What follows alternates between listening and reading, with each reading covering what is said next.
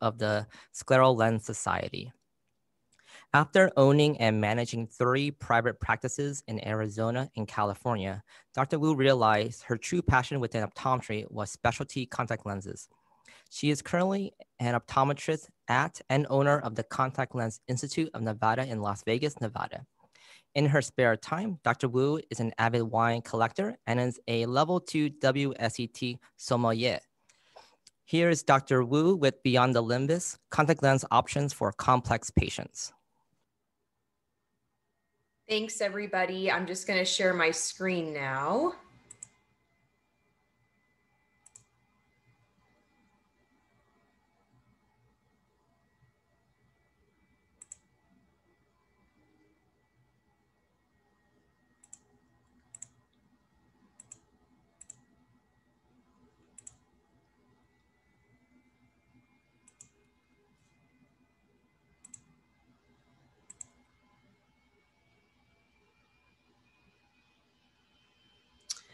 Okay, great. Well, thanks everybody for joining me and, and thanks so much to Berkeley for offering me this opportunity uh, to, to lecture to you guys. So looking forward to sharing this information with you.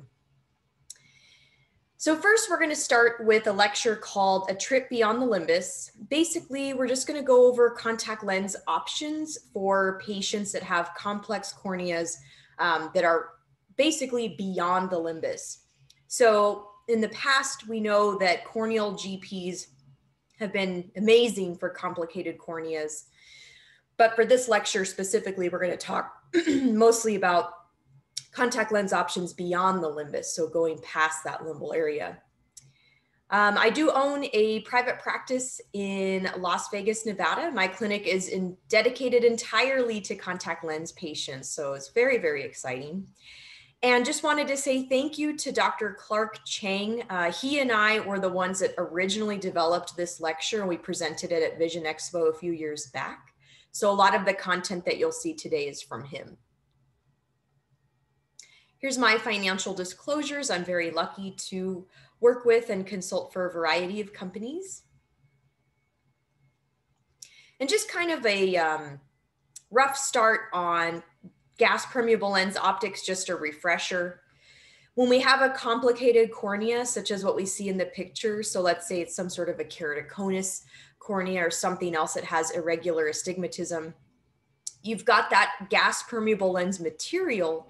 And the whole reason is so that it forms a tear layer behind the posterior surface of the contact lens. And then that gives us that smooth optical quality, which results in better vision. So these are some really cool pictures. Uh, these were two professors when I was going to school, Dr. Chang and Dr. Lam.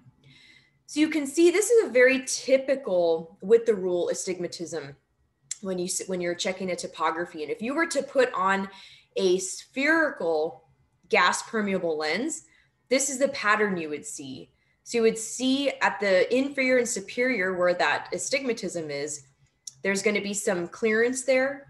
And then you've got some bearing at that three and nine area. Very, very typical for patients that have regular astigmatism. Same thing here for somebody that's got against the rule astigmatism.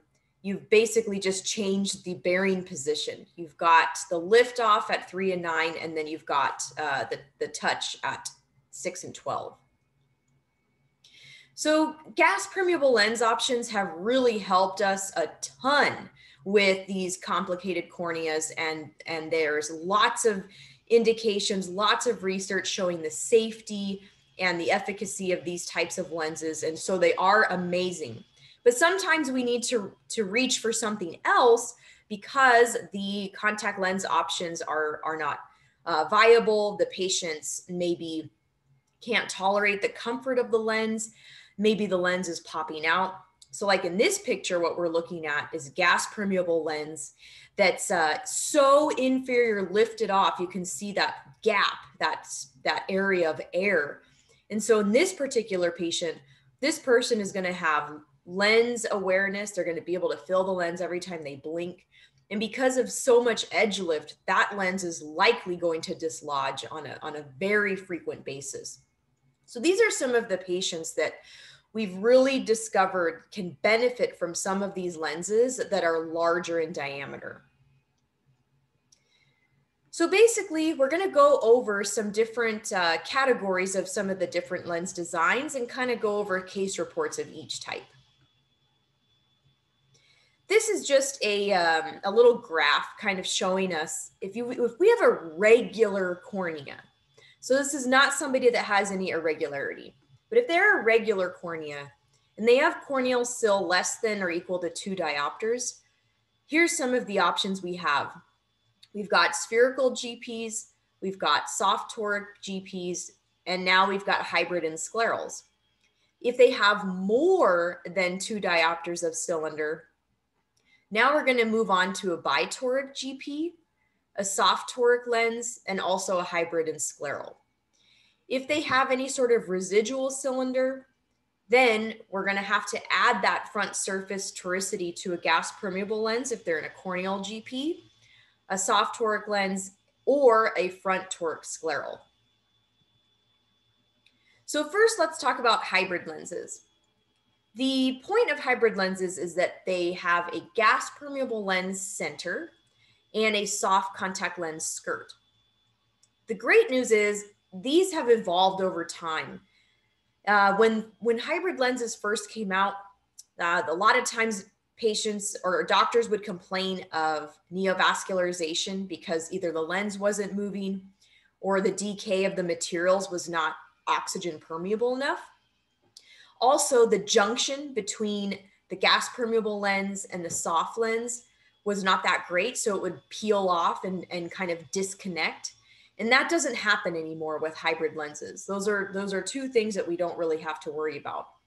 But the whole premise behind hybrid lenses is that you get the gas permeable lens center. So you've got that really good optical clarity of a GP lens, but then you've got the comfort of a soft skirt. So it's kind of like piggybacking. So piggybacking where we put a soft lens on first and then a GP lens on second, um, kind of a, a similar concept. So the good news is there's a silicone hydrogel skirt now it used to be hydrogel, now it's changed for, for the better. And there's a very, very high Dk GP center.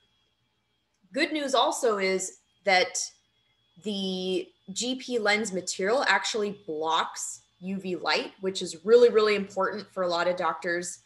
We know that UV light can cause a lot of diseases in the future. So anything we can do to kind of limit the amount of UV light getting to our patient's eye I think has become real important. Like we said before, there there's that junction kind of highlighted in green, and that's where the, the gas permeable lens meets the soft lens. And what we're looking for is we want a little bit of, of vault there. So we, we do want to see that there is some fluorescein and clearance there. This video kind of shows an ideal fit so you've got um, alignment with the gas permeable lens. And then we've got um, where the junction is, there is that nice band of highlighted that green area showing us that there is a lot, there is some fluorescein there. So that's the goal for hybrid lenses. And in this case, is that this is just the regular Duette, which is indicated for regular corneas. So an ideal candidate for these types of lenses would be patients that have corneal cyl and they're desiring better vision. Um, let's say that they're in a soft toric lens now, but it doesn't go high enough. Um, maybe it, they have a, a, strange axis and so it, it's not exact. You know, most tor soft toric lenses go every 10 degrees. Maybe they need something in a five degree. Uh, this, this would be a good candidate.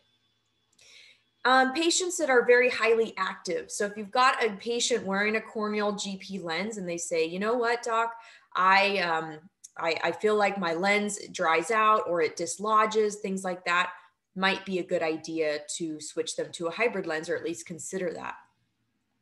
Patients that have high ametropia, so if they've got a lot of minus or a lot of plus, and um, and they don't even have to have cylinder, um, a hybrid lens could lens could be a good option for them. And then I really like hybrid lenses for patients that need multifocals there's not that many options on the market as far as uh, soft toric lenses that also have multifocal optics. There's only a, a, a few out there. So it really limits the amount of um, options that we have for these types of patients. And then also patients that want to wear contacts, but they're in glasses and they've never been able to get out of glasses. So just going to go over a, a, case report. This was an interesting patient that I saw a, a few years back. She's a 29 year old Hispanic female. She comes in because she complains that her right eye is really blurry and she's getting constant headaches. She's never worn glasses or contacts before. Um, in fact, I don't even remember if she's if she had a um, recent eye exam or or if she's ever had an eye exam. I, I can't remember that. So her vision at distance, uncorrected, is 2050 in the right eye and 2020 in the left. And her near vision is 2060 in the right eye and 2030 in the left. So, right there, that's a red flag. If you have someone that young, 29 years old, and their near vision is worse than their distance, that leads us to believe there is some sort of accommodation issue going on or some sort of um, underlying hyperopia. So her Ks show that she does have some corneal cylinder in both eyes. Her manifest refraction shows exactly what we thought. Uh, she's got some latent hyperopia and she's also got some cylinder. So this is interesting because her refractive cylinder, as you can see, so the right eye, she's only accepting minus four. But when we look at her Ks, she's really over a five. Um, so that leads us to believe, well, she either is not taking all of the cylinder or she's got some residual cylinder. And in this case, I would say most cases were especially for a patient that has never worn glasses before with this amount of a prescription, it's more likely that she's just not accepting her entire amount of astigmatism so she probably will accept that five diopters eventually. It's just this is her first refraction. It's we didn't do it damp. Uh, we did it dry, so that could also be an issue. So that's my suspicion is that she really will end up accepting all of that cylinder, but she's just um, it's her, her first eye exam, so she just her accommodation is is just too strong right now everything anterior and posterior segment within normal limits, everything looks great. So at this point, I explained to her there's a lot of options we have. We can do glasses, we can do a corneal GP lens, we can do a custom soft lens, we can do a hybrid.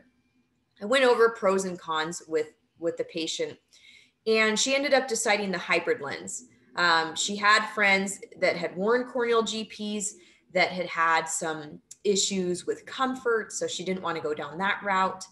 Uh, with glasses, she said, I just, I hate having something on my face. Um, I definitely would like to try contact lenses if that's an option at all. So basically, we just kind of de- de- debated between the custom soft and the hybrid. I did think that the hybrid lens was going to be the best option for her. So that's why we ended up going with that one. So we ordered a hybrid lens, and the, the beauty of hybrid lenses is you can do these empirically now. Uh, so basically, you just send them the Ks and the manifest refraction. That's it. They design it for you. So with their calculations, they uh, designed everything for me. When we uh, saw her for a dispense, she's seen 20/30 in the right eye and 20/20 in the left eye. And she does have a, an over refraction. Here is the um, lens on her eye. So you can see the, the centration is, is pretty good there. So we've got the corneal GP in the center, followed by the soft skirt on the outside. So the corneal GP, you want it to be pretty well centered, definitely covering the pupil, which it is. And then for the soft lens, you want it to be similar to like a regular soft contact lens. So when they blink, you should see the soft lens move just very minorly. If you have a lot of movement, that's going to be really uncomfortable for the patient. They might have fluctuating vision. Um, and if it's completely stuck on, that lens is going to be kind of difficult to remove. That could cause corneal warpage over time. So you really want it to act like a soft contact lens fit. So we dispensed those because she was seeing quite well and I wanted her to get used to um, inserting and removing the lens. and then I decided to reorder the, the left eye with that residual prescription. Um, so change the prescription in the left eye. And then one month later, she actually ended up seeing 20/20 in both eyes. She said that her her vision and headaches were much improved and she was also really happy with the comfort and the vision with the hybrid lenses. So this is a great and she's been actually wearing these for like 4 years now. So this is a patient that's been really really successful which has been awesome. So for hybrid lenses, the take home, you can, they are a really good option for patients that are looking to try contacts, but their contact lens prescription maybe falls out of some of the standard contact lens parameters uh, that we can get with soft lenses. They're really good at masking corneal cyl. Something important to remember about hybrid lenses is they won't help with any residual cylinder. So if you do have a patient and they are requiring extra cylinder, you're not going to get that with a hybrid lens. It can only correct corneal cyl at this point.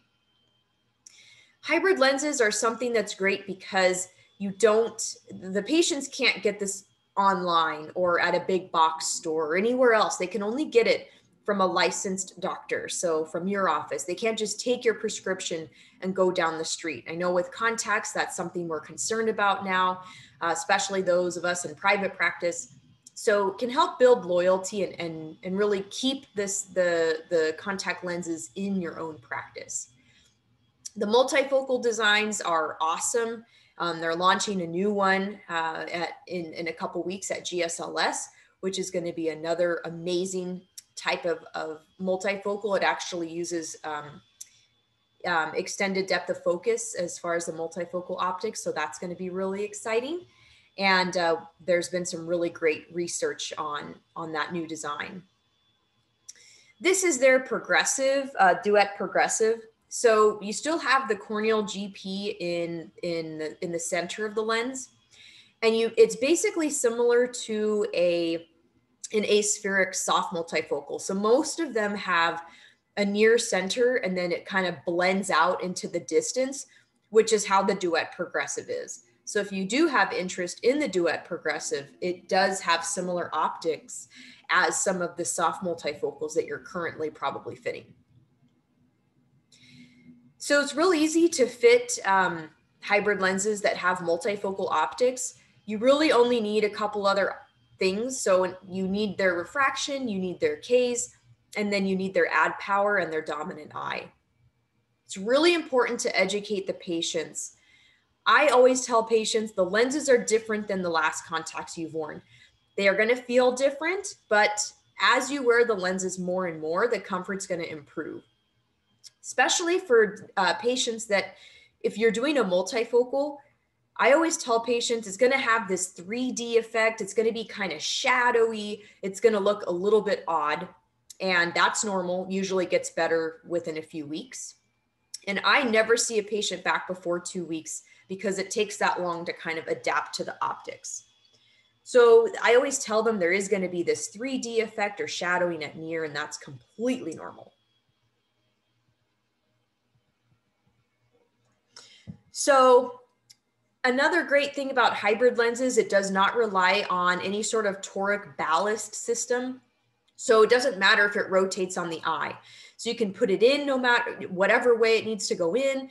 Um, when it's on the eye, it can spin around. It doesn't matter because it's masking the corneal cyl and it doesn't require any sort of weighted areas, uh, unlike soft toric lenses where you've got to put it in a certain way and then it has to center in a certain way in order for them to have clear vision.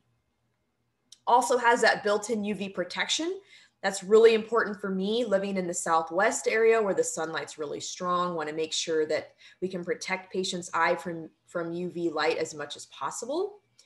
And you can only order it through independent eye care providers. So again, for someone like me in private practice, that is important. So super annoying when patients come in, you do all this work, you're seeing them for all their follow-ups, you're reordering, you're doing their training. And the worst thing is when they come in and they say at the end of the fitting, okay, I'd like my prescription now. It's it's really frustrating and and when you do some of these more custom lenses in office, really prevents that from from being an issue.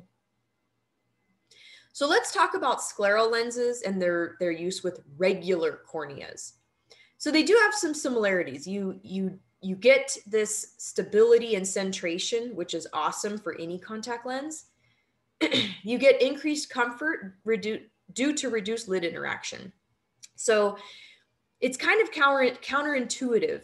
The smaller the contact lens, the more uncomfortable. And why is that? It's because when you put a small contact lens on, it moves a lot. So the movement is what's causing that discomfort. And with you ha- when you have a scleral lens, it's really large. And so it gets tucked underneath those eyelids and can help with lens sensation and discomfort. Normal corneas have more predictable shapes, so there's less troubleshooting and complications for the most part. And because these patients don't have diseased eyes, they have a better tear film quality um, they're not producing a lot of mucin, so, you know, unlike a lot of our dry eye patients or patients with corneal transplants. And their endothelium is usually intact and functioning. So real, it, it's a lot easier to fit normal eyes with scleral lenses. Can also reduce scleral lens fogging. So this is something that is a real common complication with scleral lens patients. But um, patients that have normal corneas, they don't get this issue as, as often. Edge blanching is also less common and less severe, which is great. Uh, this is a patient on the left that's got a larger diameter lens, and you can see with that edge, that does not look good. Um, it's pushing into the to the edge of the eye, causing a lot of pressure, and then causing a lot of backup of blood flow inside. Um, so that's not good. But uh, the lens on the right's about a 14.5 diameter, so going a little bit beyond the limbus. And you can see even those little tiny little blood vessels are going underneath the edge of the lens really nicely. So who is a good candidate? Similar candidacy in hybrid lenses. So patients that have um, moderate to severe eyes can also help because you've got that bath of liquid that's just bathing the cornea all day. And we're going to just go through a quick case report here. So we've got a 22 year old Asian female, and she is a veterinary student. And she complains that her vision is blurry off and on. And she's got uh, 2025 vision in the right eye, 2060 in the left. And I noticed that her, her soft toric lens is rotated 45 degrees. So first I just said, well, let's just refit you with a, another soft toric lens and we'll see you back. But then we saw her back in two weeks and she had the same issues. So now, instead of going down the road of fitting her with every single soft toric lens, I think that's going to be a waste of time. Already tried one and that didn't work. So now we need to do something else. Um, here's a, a, a topography. It's it's interesting because the top topography is her right eye. That looks a little bit more regular, I guess, in shape. And the left eye is it's got a little bit um, less of a symmetrical appearance as far as the superior inferior. And so that's the only reason I can think of of why the, the lens was rotating um, 45 degrees. So we discussed all the options and we decided to refit her into a mini scleral lens. In this case, the lens that I used was the One Fit P&A. This was the original um, uh, lens from Blanchard. It's called the One Fit P&A. They don't really use this one anymore. They've changed to the One Fit 2.0 and the One Fit Med. But at the time, this was the, the lens that they had available. And the, the way that you use this lens is you, you choose the base curve based off of their Ks. And so I looked at her K values and, um, and then you fit it kind of on the, on the flat or steep K or an average K. I can't remember. But anyway, we picked it, it looks like uh, the steeper K, just to see what is going on here. And we've got similar fluorescein patterns at insertion in both eyes. So you can see here, what we're looking at, that green band is the fluorescein. So we're putting that in the bowl of the scleral lens, putting that on, and then looking at it with the slit lamp. So you can see it looks pretty good. So we've got some equal amounts of fluorescein coverage. Um, it's extending inferior and, in, and superior beyond the limbus even, which is great. And then you always allow the lenses to settle and then check the OCT and then check the clearance again. The central clearance in the left eye was 200 microns, or the right eye is 200 microns and the left eye is 210. And then with the slit lamp exam, the, the edges appeared aligned with no blanching or vessel compression. So that's great news. So with an over-refraction, she was able to achieve 20/20 in the right eye and 20/20 in the left eye. So all we do is we add the over-refraction to the diagnostic power of the lens, and that's basically how we order it every or everything. And two years later, she's still doing great. No issues. The, the lenses still look really good and uh, no problems with the cornea or the conjunctiva at all. Something I did want to discuss was insertion and removal of scleral lenses. So these are one of the main reasons that patients are discouraged. And it's the biggest form of, uh, or the biggest reason of, of dropout with scleral lenses. They can't get the lenses in or they can't get the lenses out. Make sure that you are going through several different techniques when they come in for their dispense and their training I like to show them a video. It's free. It's on scleralens.org, which is the Scleral Lens Society. It's a nonprofit organization, but they've um, got these videos where you can show patients how to properly insert and remove scleral lenses. Um, and then patient handouts and resources. I like to give them a list of resources where it lists out exactly what to do step by step. And I tell them in case you find that uh, you get home, you forget everything that we just talked about, you'll be able to look at this little card or this little information sheet with pictures and know exactly what to do. Here's a few ways to insert scleral lenses. The most common way is right here, where they're holding the plunger and you're putting the scleral lens right on top, and then you're using the other hand to control the eyelids. Next, is an O-ring. Um, this is something you can get at the hardware store for like 10 cents. But basically, it provides a little balancing structure for the lens. And then notice that she only needs one finger now to balance the lens compared to her other, other fingers here where she can control the lower eyelid now. This is something called the Easy Eye applicator. It's basically a rubber ring, so it's easy to fit onto any finger size. And then it's got this little lens well, and then you just put the scleral lens inside of the well, and then you put the, the lens in. So those are the, the last two are good ways for patients to insert lenses, especially if they're used to using one finger. So if this patient had already been wearing contact lenses, whether it's soft or GP, and they're used to inserting their lens with just one finger, I find that some of those other techniques can work a little bit better. If you have a patient that hates using lenses and uh, they or they hate using devices, they don't want to be reliant on anything, you can teach them how to put a scleral lens in just by balancing it on their fingers. So you can either do the tripod, which is the three fingers where they're balancing the lens. You can even have them just balance it in the in between the crevice of their two fingers.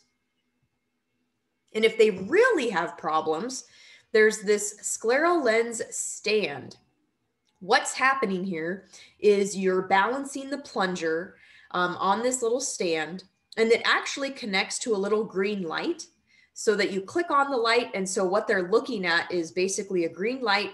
And that gives them the, the ability to use both fingers to hold the upper and lower eyelids. So this gives them the most control. And then they just kind of lower their whole face down to the scleral lens. So a lot of questions, a lot of doctors ask me, when do you usually see a scleral lens follow-up?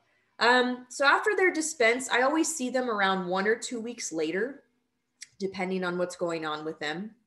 Um, I'll see them a month later, three months, and then depending on the condition, I might see them six months. Um, and then what you want to look for is staining and edema on the cornea. Of course, you want to check the limbus as well, check for staining and edema and then check for lens deposits and fogging. Just see if everything's going okay there. Then you're going to ask them what's their wear time, what's their comfort, um, how are they inserting and removing the lens, what are they using to fill the bowl of the lens, and what are they using to clean the lenses.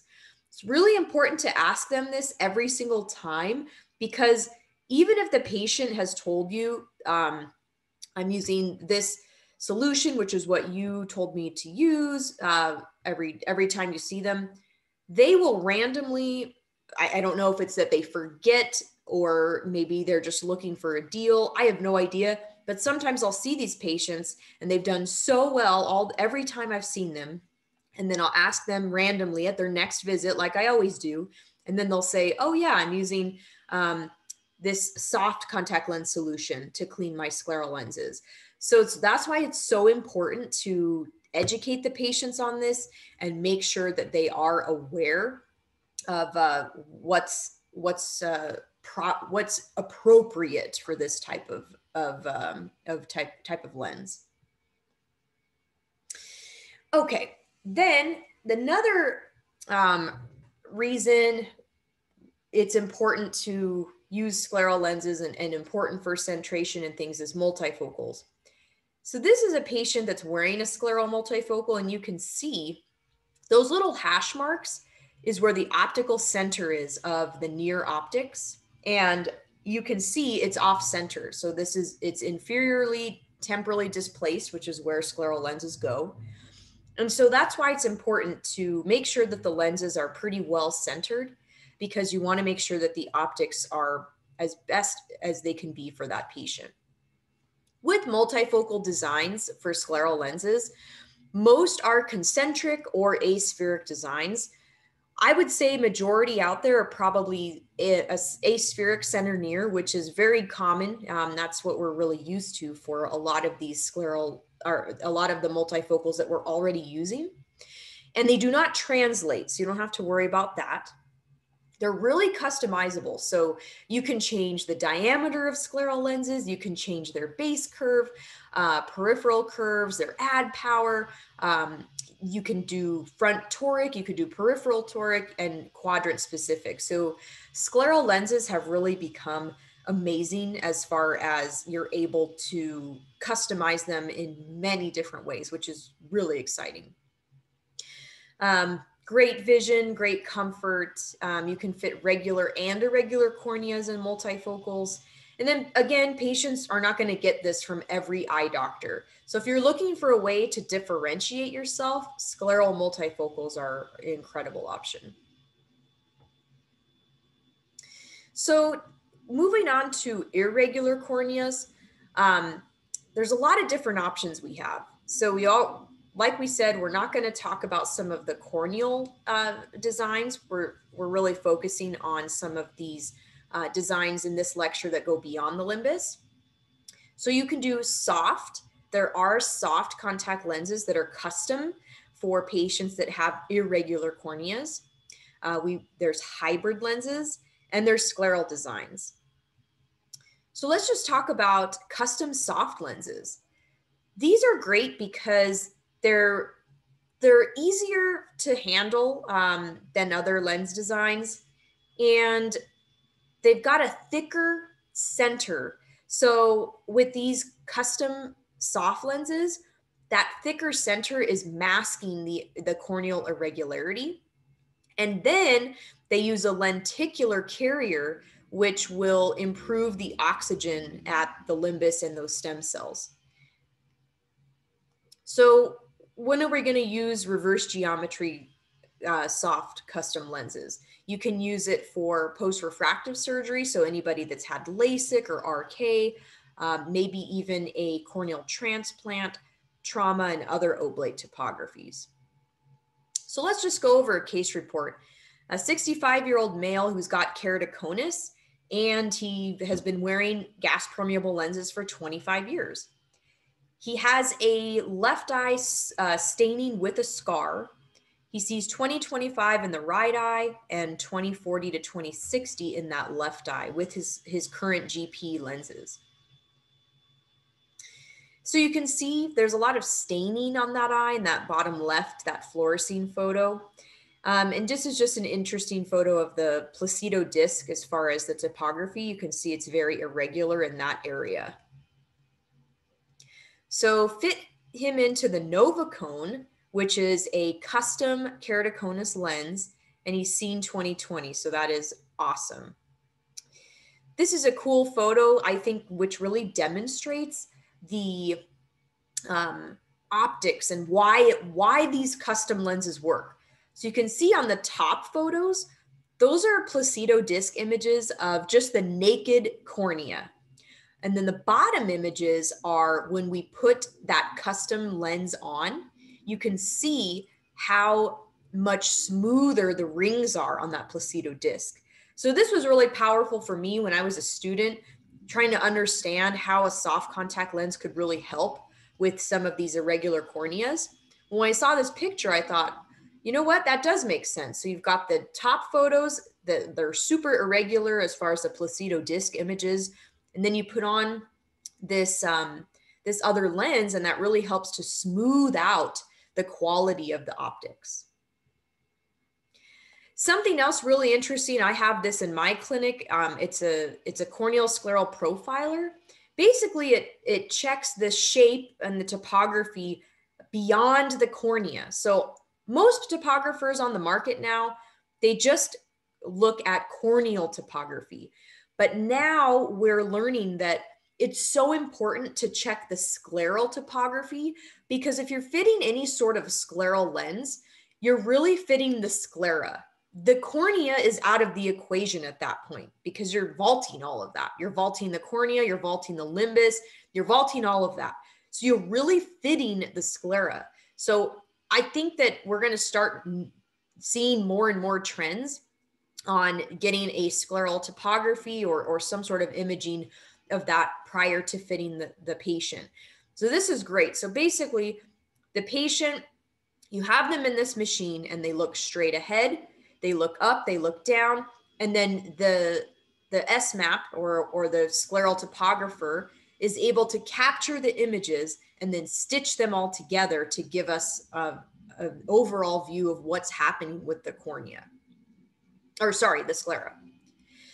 So you can see here that um, it shows us what's going on with the topography of the actual scleral shape. And that has become really huge in my in my clinic. I use this on on almost every patient now so I can see what's going on with the scleral shape and that helps me recommend certain options for patients.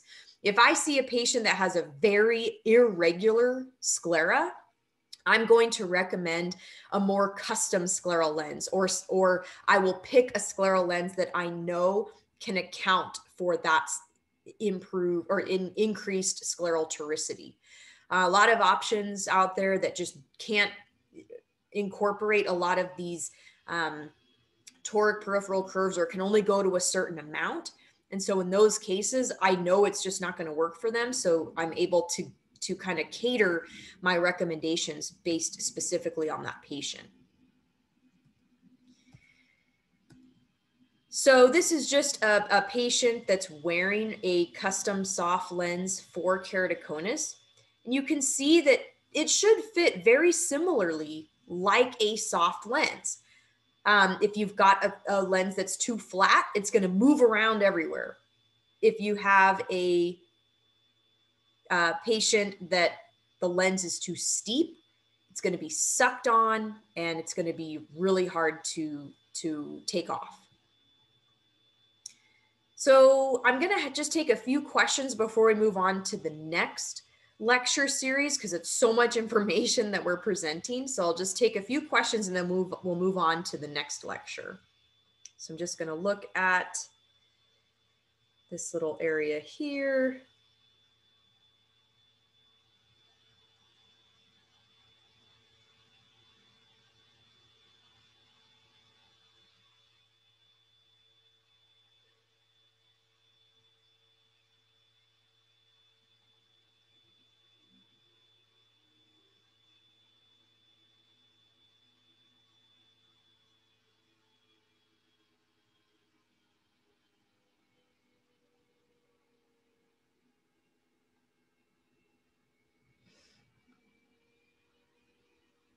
Okay, so I've got a um, few questions and then we'll move on to the next lecture. So first question, for the case on the hybrid lens, the first case, did you do corneal topography to determine if the right eye had keratoconus?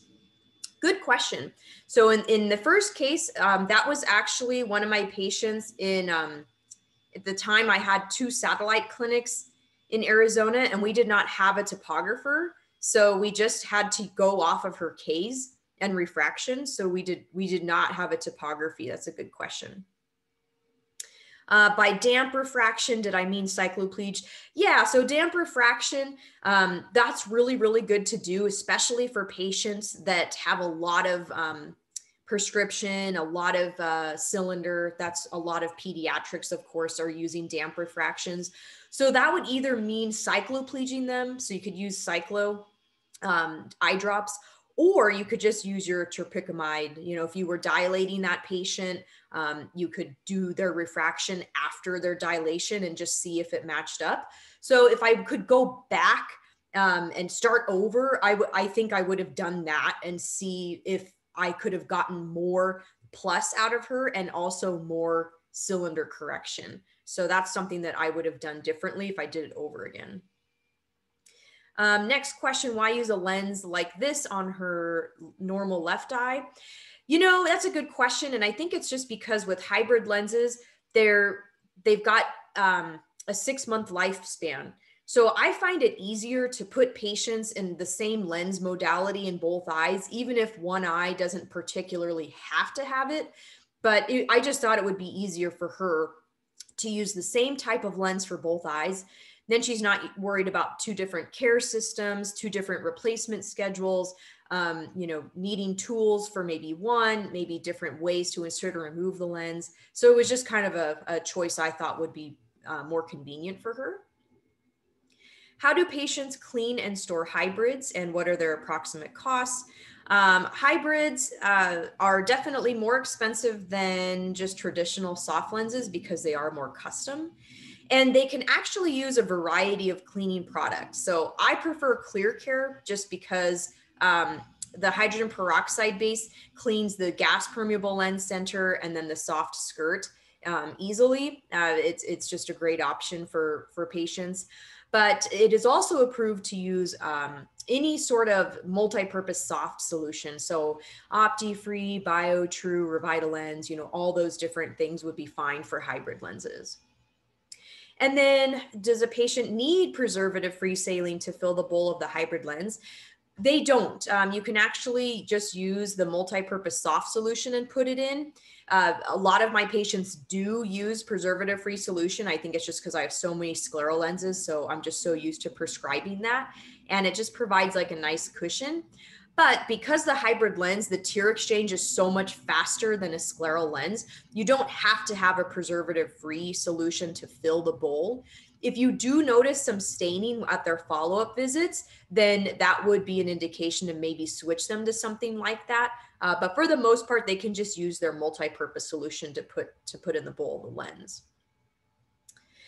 Okay, next question. If a patient complains of irritation associated with dry eye, can you use artificial tears with a scleral hybrid?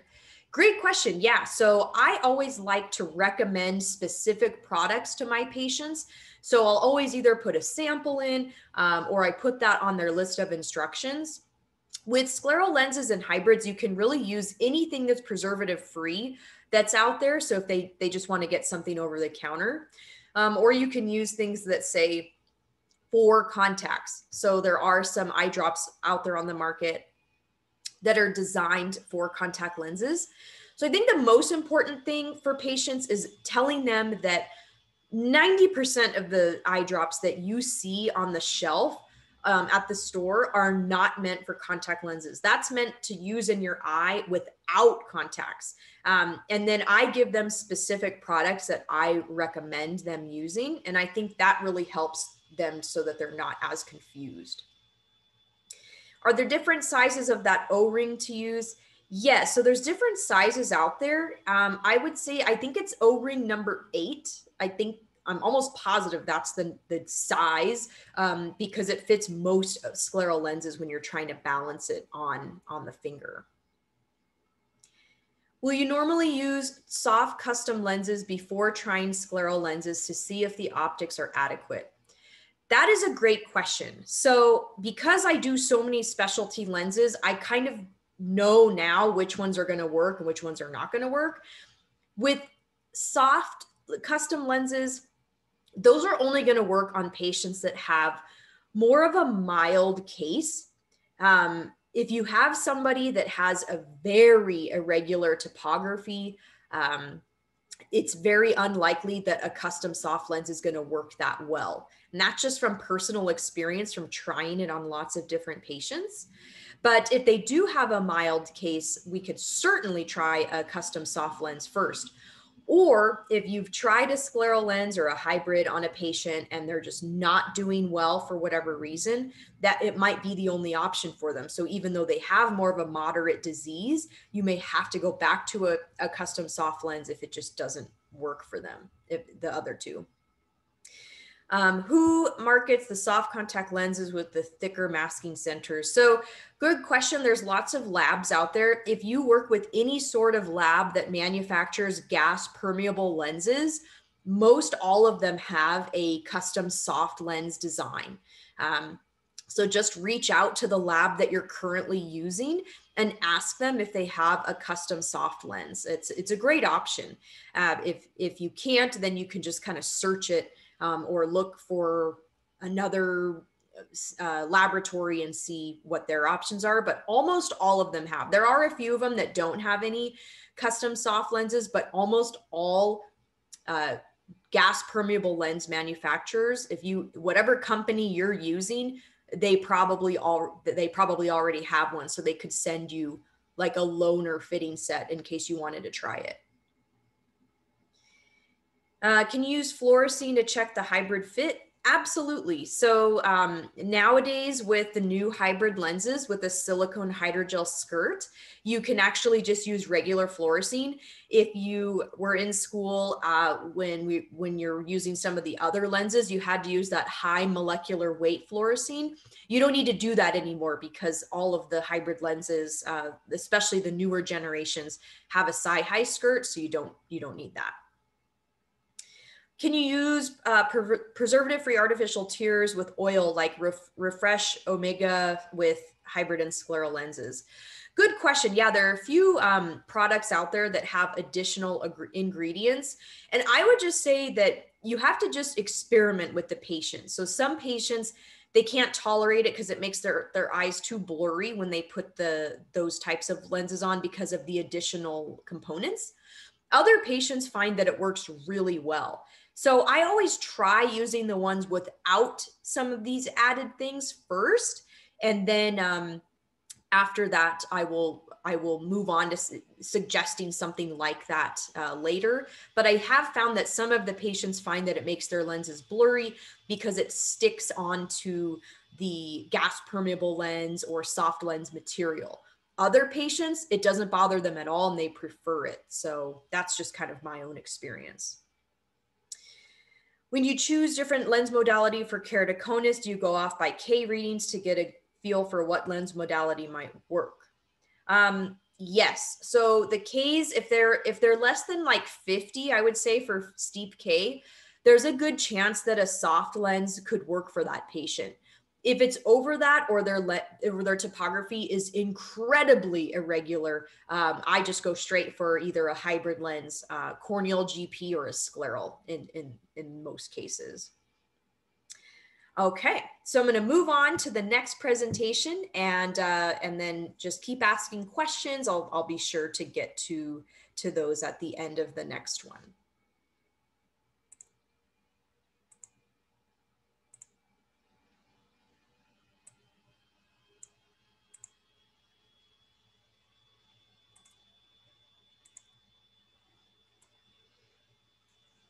Okay, so moving on to the next lecture, the diameter debate. So this lecture, we're gonna talk about large versus small diameter scleral lenses. If you need to get a hold of me, um, you, I have a website, drstephaniewoo.com. You feel free to email me any questions if I didn't get to them today. Um, I also have Facebook and, and Twitter or Instagram, and I post a lot of really cool, interesting cases uh, most of them are on irregular corneas, um, and there you can get a hold of me that way as well. I want to say thanks to Dr. Langis Michaud, and he helped me kind of develop uh, my portion of their presentation and gave me a lot of images and, and things which um, are really cool. And then also Dr. Lynette Johns and I uh, she she and I are the original developers of this presentation. We gave this presentation at GSLS a few years back, so I want to say thanks to her for letting me borrow her content. Um, again, my financial disclosures. Okay, so this is a chart that some of you guys might remember, but this was kind of going on and talking about scleral lens categories and diameter. So if you remember, we defined corneal scleral lenses, semi-scleral, mini-scleral, and full scleral based off of their overall diameter.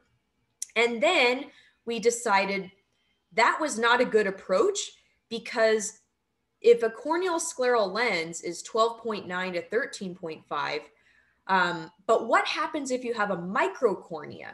Let's say that the, the entire diameter of the cornea was only eight millimeters a 12.9 millimeter lens would be a full scleral lens at that case because it's not touching the cornea and the sclera at that point. So we decided that we're going to change this. Scleral Lens Education Society uh, got together um, and and we decided that this is a much better way of describing lenses and and their fitting relationships. So a corneal lens the definition of the bearing area is that it is resting entirely on the cornea. So if you think of a corneal GP, it fits on the cornea. It doesn't touch the limbus. It doesn't touch the, the sclera at all. Corneal scleral, the lens is resting partly on the cornea and partly on the sclera. There's not many of these designs left. There are a, a, few out there where the, the fitting process, you actually touch part of the cornea and part of the sclera. But 95% of the lenses on the market for sclerals actually fall into these categories mini scleral or large scleral. Both of them, um, the, the bearing is entirely on the sclera but the mini scleral is the lens is up to six millimeters larger than HVID, whereas a large is going beyond that. So not really that much of a difference between the mini and, and large. They're both resting entirely on the sclera, but that might kind of help us as we kind of go through some of these different cases and talking about the large versus the small diameters. So how do you select a diameter? It's really important to check the HVID because that a lot of times will kind of help you determine which diameter to start with. There's a variety of ways that we can do this. We can use different devices. Um, you can use these in the center. This is like a little HVID ruler. And a lot of the labs that make scleral lenses, they have these they, and they give them out for free. So if you do have a question, um, or you want to get one of these, just get in touch with your lab and ask them if they can send you one. And then if you have any sort of topographer, almost all of them have some sort of a, a measuring tool that will tell you what the diameter is in in all the different areas of their um, uh, cornea. And something interesting is that we're learning that as we analyze corneal shape more and more, that the the cornea is actually not round. There's actually a difference between the horizontal and the vertical meridians. So that's like some interesting research that's going on right now. Um, but and at any rate, you want to definitely have some sort of a gauge on what their HVID is because that will help you select an initial diameter. If you've got somebody that's got a megalocornea or a microcornea, that also is going to kind of help you determine which um, which diameter to, to start with. Okay, with the corneal scleral lens, this is just one of the different options that's out there.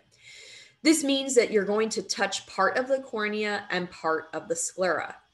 Um, this is a patient uh, where they put the lens on. It was too steep, uh, not top left where you've got that bubble. It was too flat on the top right, too much bearing on the center cornea.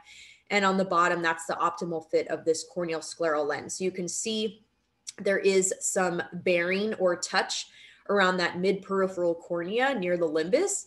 Um, but then there's clearance in the center of the lens. And then the rest of the bearing of the lens is on the actual sclera.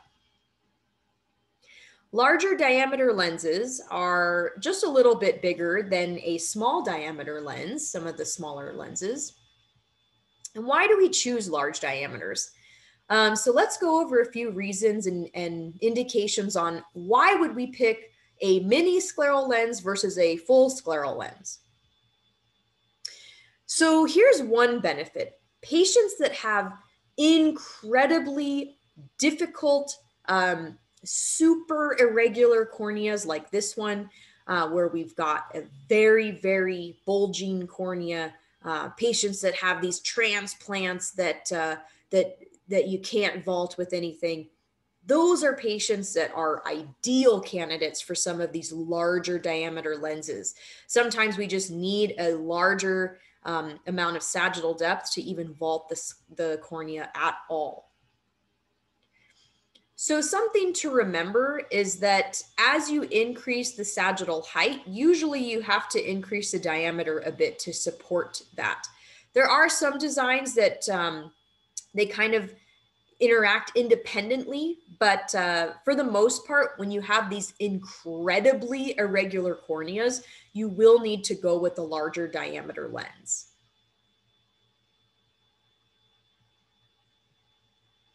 So sometimes we have to remember that the, the lens design you're working with, some lens designs will steepen the base curve and then that steepens the sagittal depth of the lens. Other designs, even if you change the base curve, the sagittal depth is unreflected. So it's really important to make sure that you understand the scleral lens design you're working with because it can vary drastically between companies. The limbus is really, really important. Sometimes um, there's lens designs that we, we get a great central fit everything looks great with the with the scleral lens but there's some staining on the limbus or you're worried about the stem cells or something else is going on so sometimes you need a larger diameter scleral lens to be able to vault that limbal area Some of the other benefits of larger diameters is that it allows enough material to go over these extreme corneas. So let's look at this lens, or this patient has got Terrien's marginal degeneration. If you have a patient like this, there's no way you're going to use a smaller diameter lens because you don't want to be touching that limbal area um, and that delicate tissue. You want to make sure you're getting over that and make sure that you're getting around all of this. Same thing with patients like Salzmann's nodular degeneration or some of these other really extreme cases where they've just got a really um, irregular surface. You're going to want to vault over all of that completely. You don't want to touch those areas because that could cause erosion. It can cause uh, discomfort. It can cause a lot of other issues when you're kind of smushing that, those areas. You want to just get over all of all of this scleral lenses, if you're trying to protect the ocular surface, such as those uh, cases that we just looked at, you're going to want to go bigger because you want to get over all of those structures of irregularity and bathe the surface of that of, of that eye all day. Here's some other interesting ones. Trichiasis. So if you've got a patient where their eyelids or lashes are are curving inward and they are scratching the cornea all day, you're going to want to go with a larger diameter lens to help protect the eye um, from those eyelashes. Uh, distichiasis, same thing. You want a larger lens to help prevent any issues there and keratinized lid margins. So with the bottom photo, if you've got some sort of condition that has caused the eyelid to get really rough and keratinized and yucky, imagine that when you're blinking and that eyelid is not smooth and it's and it doesn't feel good it's got this really rough spot that's going to be so uncomfortable for the patient. It's going to cause all these issues with the cornea. So putting a scleral lens on to protect the eyeball from the eyelid can be so helpful for these types of patients. So we went over in the last lecture a couple um, you know reasons why we would use some of these instruments. So we've got a couple options here. Actually, there's three options now where we've got the eaglet eye, we've got the sMap, which we talked about in the last lecture, and then there's also the Pentacam has something called the CSP, the Corneo Scleral Profiler. It's a software.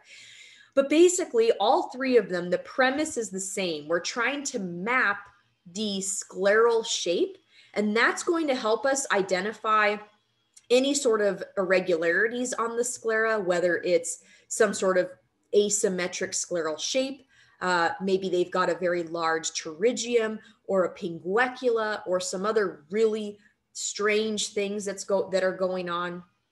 These instruments have been awesome in evaluating the shape of the actual sclera, and then that can guide us to which type of lens that we want to fit this is such an interesting study that was done uh, by, by Greg DeNaeyer and, and a bunch of other people. But basically, they checked 152 eyes and they they wanted to find out how many patients actually have a spherical scleral shape.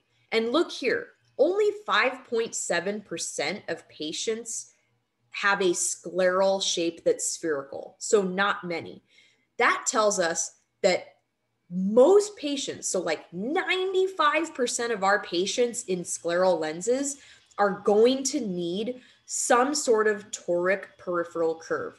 We did not know this 10 years ago. The, the scleral lenses that were used 10 years ago were all spherical because we we thought that the scleral shape was basically spherical.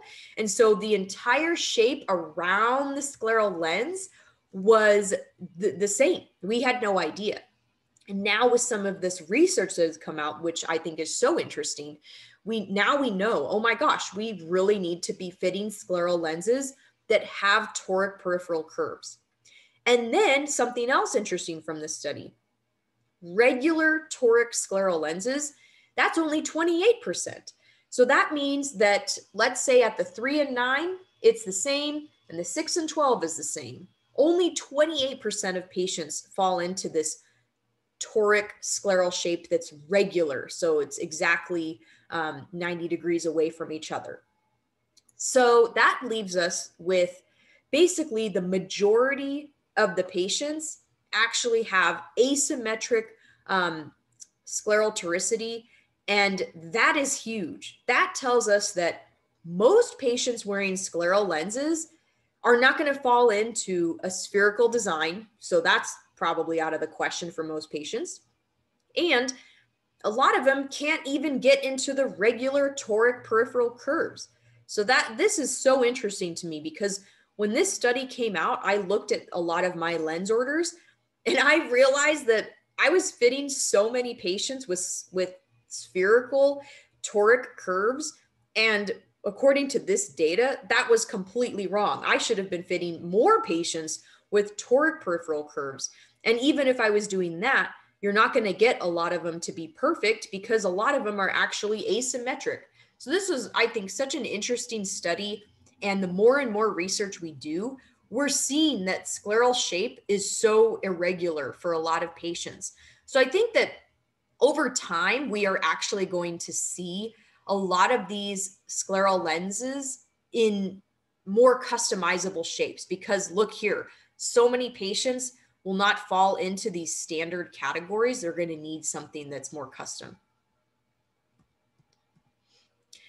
Um, something else cool with these larger diameter lenses is we get some of these cool things. Um, you can get a spherical uh, toric or spherical peripheral curve if you need it, but from the last study we just looked at, there's barely anybody that's going to need a, a scleral uh, periphery that's that's spherical. We're going to have to go to toric. You can even do quadrant specific for a lot of lens designs out there now.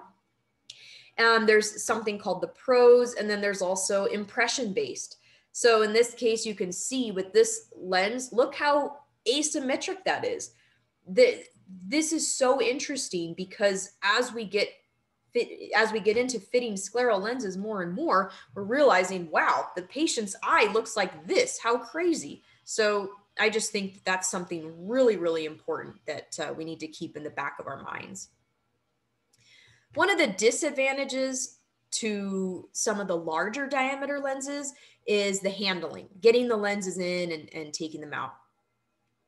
The um, the issues that we've got with obstacles is when we get into these larger designs, now we're going to have to incorporate more custom issues. If they've got a pinguecula that's like really elevated, uh, like in that left hand photo, we're going to need to do something to kind of vault that area or, or create a notch. If they've got symblepharon, you really need to have something a lot more custom to go around that area. And if they've got a tube or a trab, something with glaucoma, you really have to be very careful. And a traditional scleral lens is for sure not going to work on these types of patients. So, just kind of going back into scleral lens indications to begin with, we've got all these different options for patients that have all these different issues. So, uh, won't go into all of these, but we've got lots of patients that that can benefit from scleral lenses. And this, I think, was so cute that Dr. Longisma showed. Um, he had this slide that that said, "You don't have to shoot a mosquito with a bazooka. Use the lens with the lowest risk." Um, so let's talk a little bit about the smaller diameter scleral lenses and who would be a good candidate for those. Some of the benefits of smaller diameter sclerals, which we're going to go into each of these, is they're easier to handle they don't decenter as much, so the optics can be better, especially for multifocal patients. There's less issue with fogging from the posterior tear lens, and there's reduced tr- troubleshooting, such as conjunctival chalasis, um, tight lens syndrome, things like that. Uh, less issues with scleral shape because the smaller the diameter, the less toricity we're having to worry about. And then possibly there's more oxygen, long term health, because you're not um, having to make the lens so large. Here's some good candidates patients that have irregular corneas and diseased eyes. And the newer trend for scleral lenses are patients that have normal corneas. Uh, maybe they've got fluctuating vision with their current contact lenses. Maybe they've got super high amounts of plus or minus maybe they've got lots of astigmatism and soft contact lenses are just not cutting it for them. Uh, athletes, and this is not just like professional athletes, but these are patients that are um, even in high school uh, or even beyond. You know, if you're wanting to use contact lenses uh, for for any sports or or even just any other athletic activities, you could wear them on a part time basis for those. So patients uh, that have high hyperopia. So think about patients that have these really, really thick glasses, make them look bug eye, things like that. Um, a lot of times it can improve their vision and could be really, really good for patients that have these very extreme prescriptions. Same thing with myopia. If you've got a really, really high amount of myopia, uh, can cause you to have these kind of beady eyes. You've got these really thick areas on the glasses. Um, and like for me personally, I've got a very high amount of myopia. And when I put my glasses on, the peripheral vision is very bizarre. So I always feel like uncomfortable driving at nighttime because I feel like my vision's not the best. But with with my contact lenses, I feel much more comfortable uh, getting around. Astigmatism, um, it's a great option for patients with higher amounts of astigmatism because with soft contact lenses, the standard ones anyway, we can only get to certain amounts. But uh, with these scleral lenses, they're so customizable. You can really fit patients with any amounts of astigmatism with these lenses. Um, anisometropia, if they for some reason don't get in, they don't fall in the category of a soft lens, um, you can always use it and and something good about this is that it could be covered under medically necessary contacts so you might even be able to get insurance to bill this. Current gp wearers if they uh, if they complain that they're always getting stuff behind their lenses they work in a dusty windy environment and, they, and they're complaining like oh my gosh it, it's just it's so uncomfortable. Um, I, I have to take the lens out every time i get something behind the lens. Uh, that they might be a good option and patients that uh, that wear corneal GP lenses and then they just they complain that uh, the lens is popping out. They, that, you know, every time their eye gets dry, it falls out. Or if they ride a motorcycle, lots of motorcycle patients here in the Southwest uh, that complain that their lenses like fly out. So can you imagine you're driving on the freeway in a motorcycle and your gas permeable lens just flew out of your eye. I mean, what do you do at that point?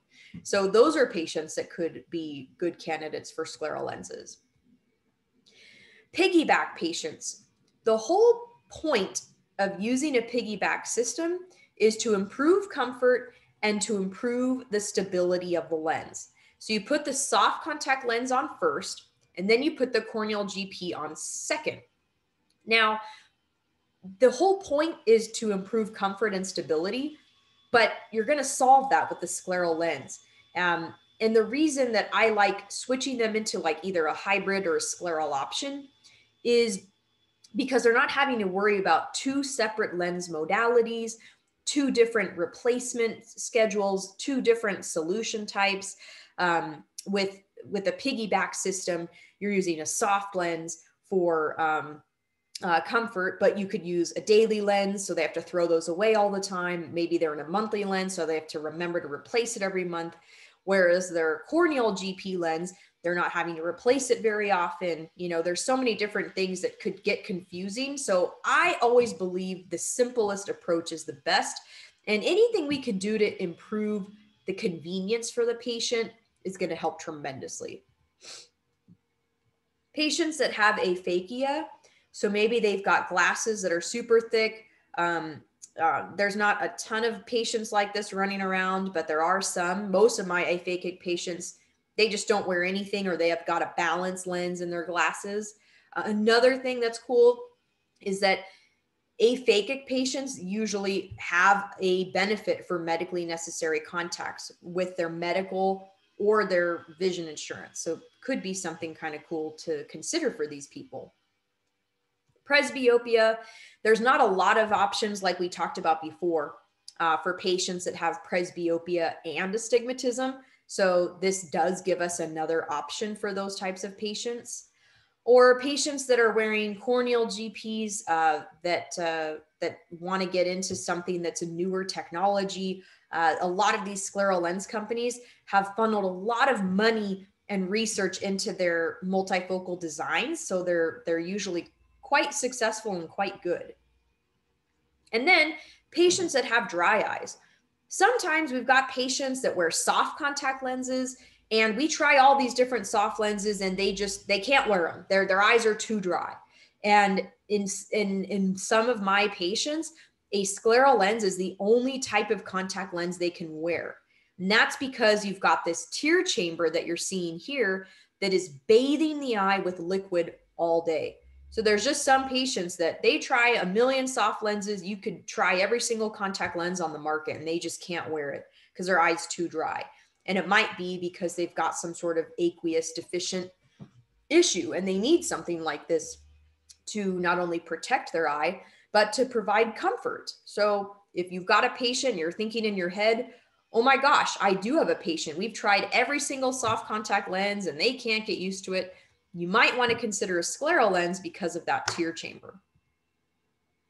If you've, if you've got a patient that's unhappy with the current soft toric lens, let's say that the lens is rotating, um, maybe the their prescription is not exactly the prescription that they're wearing in the contact lens, they could also be a good option.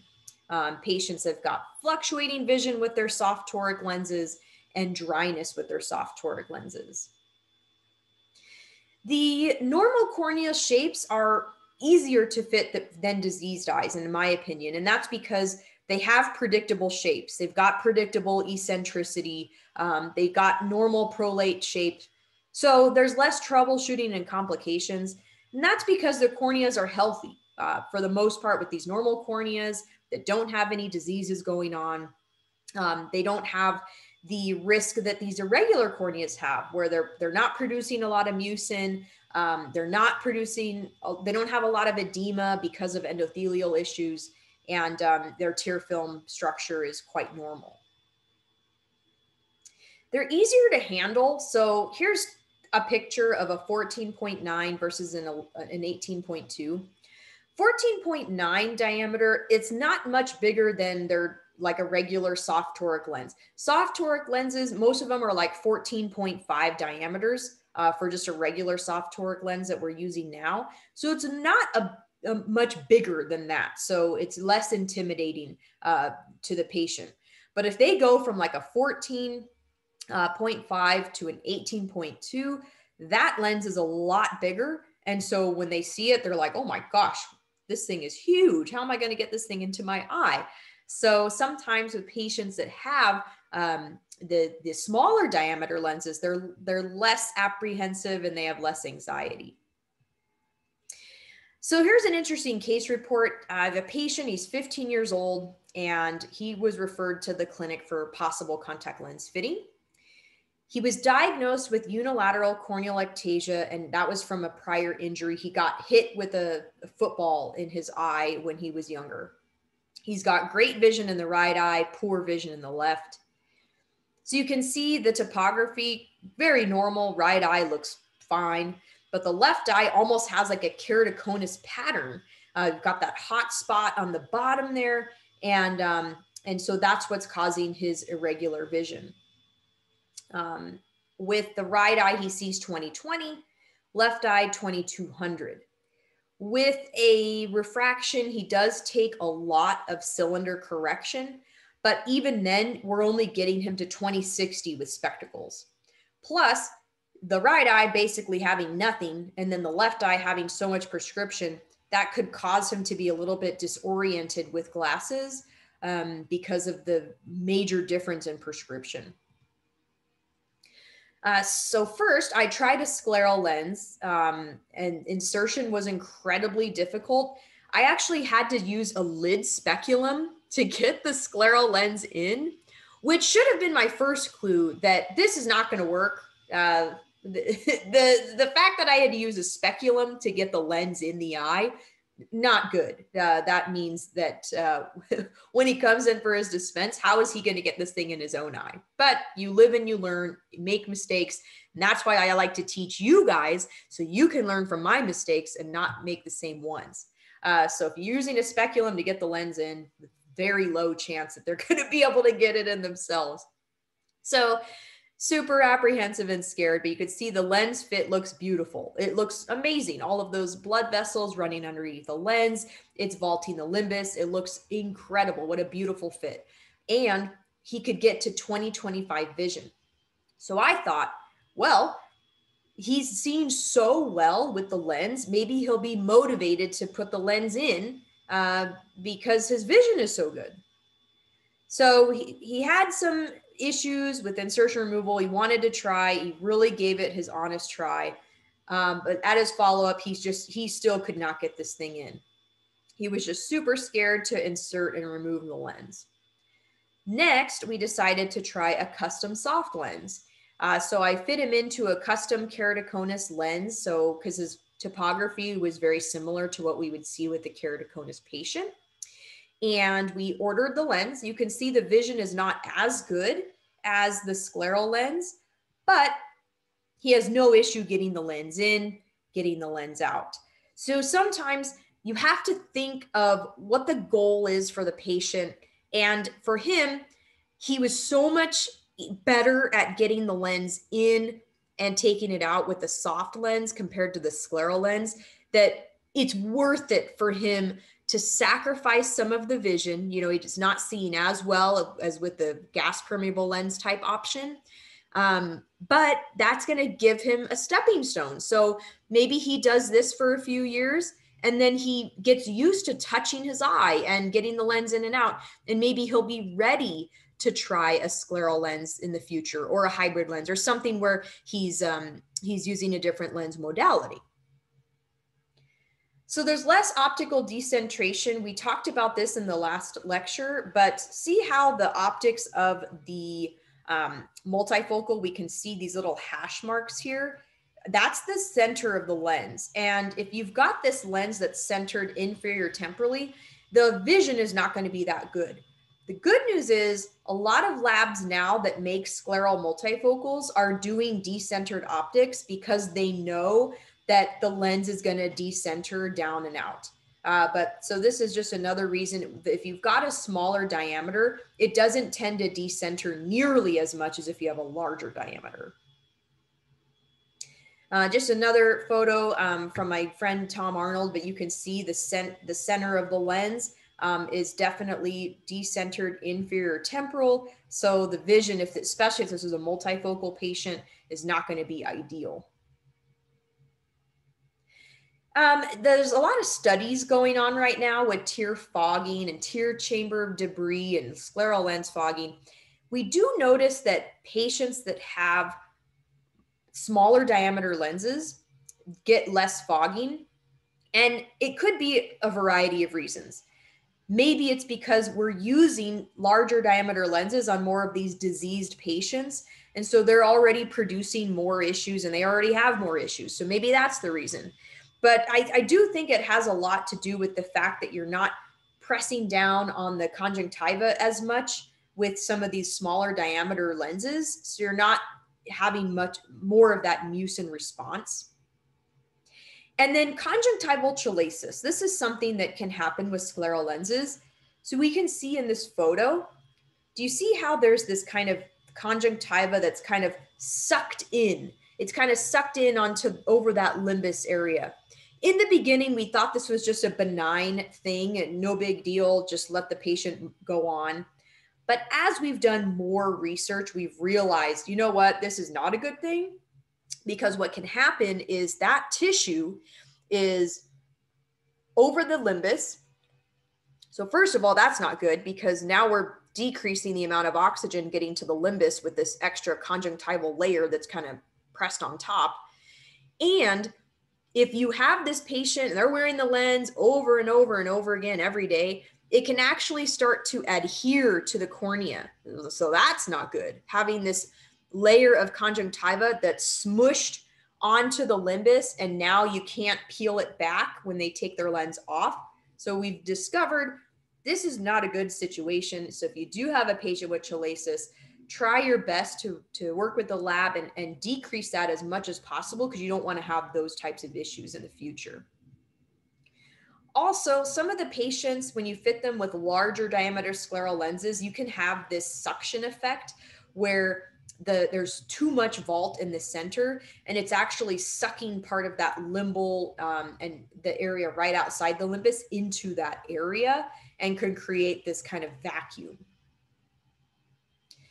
uh, peripheral edge alignment as well. When you get into these larger diameter lenses, the scleral toricity increases.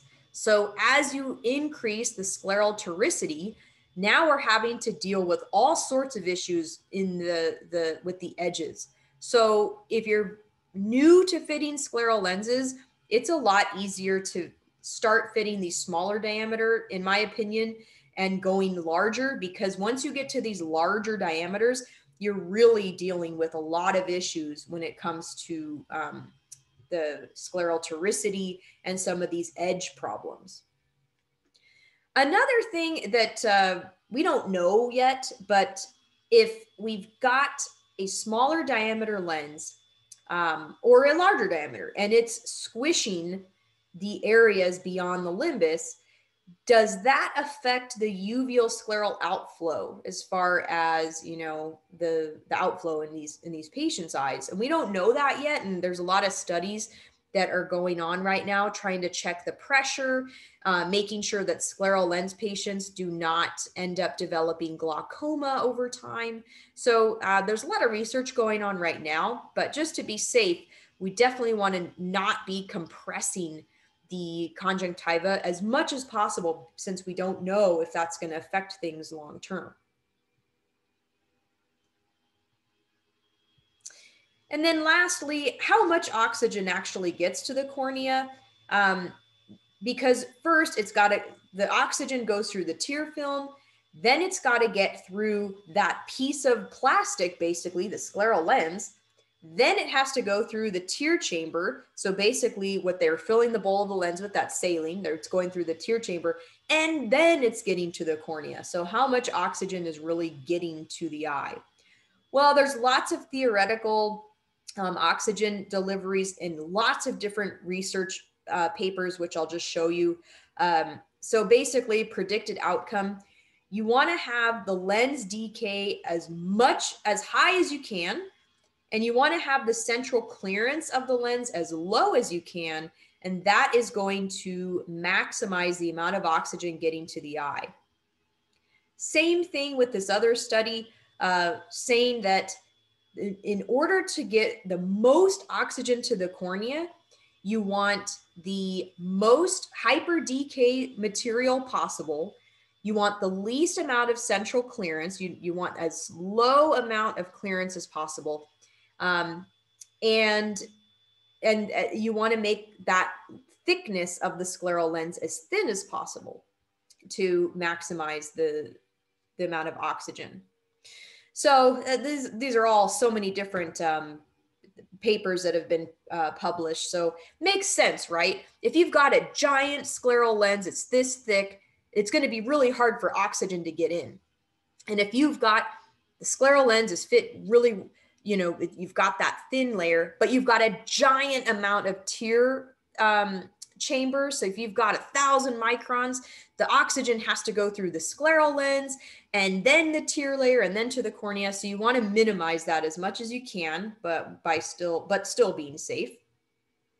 And uh, yeah i wanted to kind of answer some questions here. Again if you need to get a hold of me you can find me drstephaniewoo.com um, and follow me on social media if you have questions, but I am going to answer a few questions now. Okay, the next question, can one use a corneal topographer with eccentric fixation to map the sclera? Yeah, that's a good question. So I actually do have quite a few patients that they don't have very good vision. And so they kind of, I kind of have to direct them on where to look. But yes, if the patient is looking off to the side, you can still map the scleral shape, which is fine because no matter where they're looking, because you're getting several different images, it's going to stitch all those images anyway. So even if they're not looking exactly down or exactly up, they're looking off to the side of it, that's okay because you're getting so many images, it's going to just stitch it together. If a clinician does not have instrumentation to analyze scleral toricity, is it possible to make decisions from the slit lamp observation when ordering? Great question. Yeah, and I don't think it's it's not worth it, in my opinion, to buy a, a, scleral topographer if you're not fitting a lot of scleral lenses. I mean, it's kind of a waste of money, right? Because you're having to pay a ton of money for this instrument and you're only using it, you know, once a month. So um, I don't think that's a huge reason to, to purchase one um, if you're not doing them a ton? Great question. Yes. Most commonly, what you're going to see is you're going to see blanching at the three and nine o'clock. So, in that horizontal meridian with the scleral lens, if you see that there's a lot of um, blanching there, that means that it's there's not enough toricity at that three and nine, and you're going to need to increase the amount of toricity. If you have a patient that's got a large amount of toricity, what you might even see is bubbles happening at 12 or 6 o'clock. And that's because it's pressing down at the three and nine, and then it's lifting up at 12 and 6 and there's little bubbles that are starting to get into the lens. So those are the two most common things that you might see. And then all you have to do is either take pictures and send them to the lab consultant or um, or tell them on the phone like yeah i'm seeing a lot of compression or i'm seeing a little bit of compression at, at three and nine um, and they can make the adjustments to increase the amount of scleral peripheral toricity of the lens when you order it. So yeah that's not an issue at all. I didn't have a scleral topographer until like two years ago. So totally doable to order scleral lenses with increased amounts of scleral toricity without having something like that Will scleral lenses decrease endothelial cells in the long term? I don't think we know that yet. Um, there are a lot of patients that have been wearing scleral lenses for like 20 plus years uh, from you know some of the the people that fit them in the very beginnings and I they have never published something like that but um, for sure if you have a patient that has a corneal transplant you need to monitor their endothelial health very carefully because I've had a lot of patients where their endothelium just can't keep up and it becomes edematous and they get, you know, bull or, you know, a lot of other issues can happen. So if you are fitting scleral lenses on transplants, be really, really careful because their endothelium can be at risk.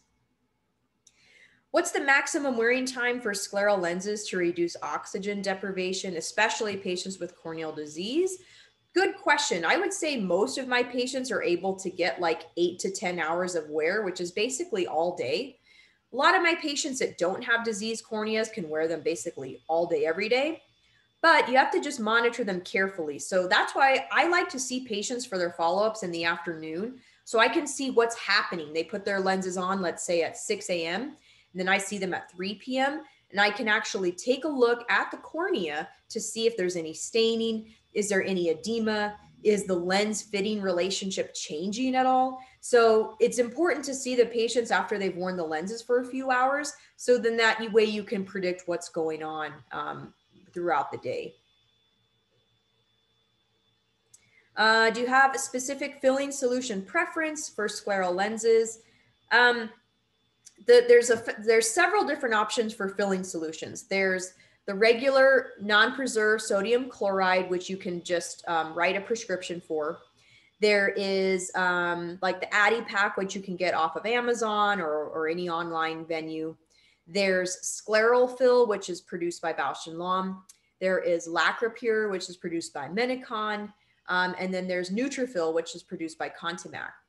So those are three filling solutions that are kind of mm, um, available I prefer the ones that are branded more than the Addipak. And that's just because the pH of those is so variable.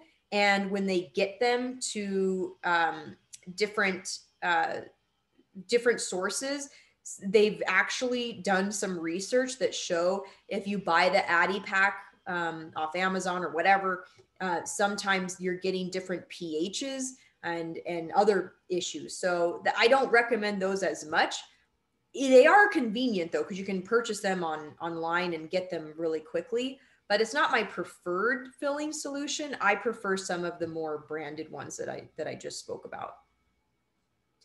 Uh, besides medically necessary how often can and should sclerals be replaced when it comes to medicare DMERC? Um, i always tell patients that they'll they're able to the lifespan of scleral lenses is between one and three years um, I will not let patients go beyond that because the, the material usually starts breaking down anyway because it's so oxygen permeable that they get scratches and deposits a lot more. And um, yeah, so following Medicare DME guidelines, uh, it used to be they could only replace it once every five years, but I think that they've changed it because I've had some patients that are able to get it again after a year. So I don't know if it depends on the patient's plan um, or if maybe they've changed things, or maybe it's based on diagnosis codes. I, I'm not quite sure. What's the first step for dealing with conjunctivochalasis? Try a smaller diameter or adjusting the peripheral curve. If you have conjunctivochalasis, it's usually because the limbal clearance is too excessive uh, or the edge of the lens is too steep. It's squishing in that area. So if you already have a well-fitting scleral lens, I wouldn't necessarily start all over again with a smaller diameter lens. I would just take a look, especially if, it, if you have an OCT, and take a look in that area because most likely what's happening is the limbal area is there's too much clearance there and the edge is too steep. So you're going to need to maybe modify um, and adjust to make the limbal clearance less and then the edge um, higher. Is a small scleral lens more comfortable than a soft toric? That's an interesting question. I actually had a study in here that I didn't get to, but um, there was a study done where we compared small diameter scleral lenses compared to soft toric lenses, and the comfort was actually rated uh, the same between the two. So really, really similar as far as comfort goes. Uh, do you have a go-to Dk for average thickness scleral lenses? Um, anything hyper Dk I think is fine. So there's optimum extra, there's infinite material, there's acuity material, there's optimum extreme, there's Menicon Z. I mean, there's so many hyper Dk materials on the market now. Um, I, I just ask the lab for their choice. If I do have a patient that has a very diseased eye, like a, a transplant, I will make sure that I try to get them in like a, an infinite or acuity material because that's about 200 Dk. So I'm going to try to maximize the, the oxygen on those patients. If a patient's asym asymptomatic with a scleral lens with a pterygium or a pinguecula, but you can tell that's causing some compression, is that okay? Um, I, I think that's a really um, tricky question because – my fitting philosophy has changed over the years and i don't like to have any compression on anything now. I like to have everything really well aligned. Um, i think it's just safer for the eye long term and it causes less problems with the patient. But if if your uh, lens design doesn't allow for notching or doesn't have any issues I, I probably wouldn't worry about it and i would just closely monitor them. So i have patients where I didn't have a corneal topographer. I didn't have an OCT, and I was fitting scleral lenses, you know, 10 years ago. And um, I just kind of had to do my best judgment. And back in that time, there were no options for notching or there were no micro vaults. There was no way to vault over these, you know, pingueculas. And so I've just monitored them long term. And most patients are doing just fine. So I would just say careful monitoring, especially if the patient's not complaining. And if it's only mild, I think it's just fine to just monitor those long term.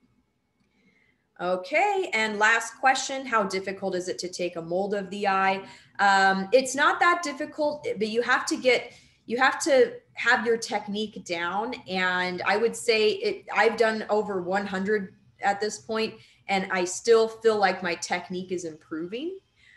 And uh, yeah, just want to say thanks so much for Berkeley for inviting me to participate in this lecture. And uh, yeah, any other questions, please get a hold of me. I'm happy to answer those. So thanks very much.